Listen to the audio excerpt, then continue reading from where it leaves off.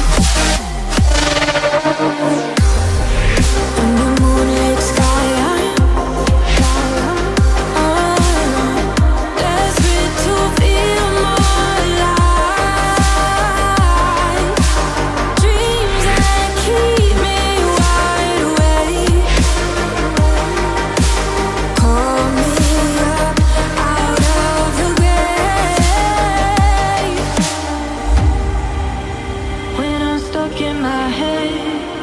Suffocated by sorrow, my bones start to disconnect. My soul becomes hollow.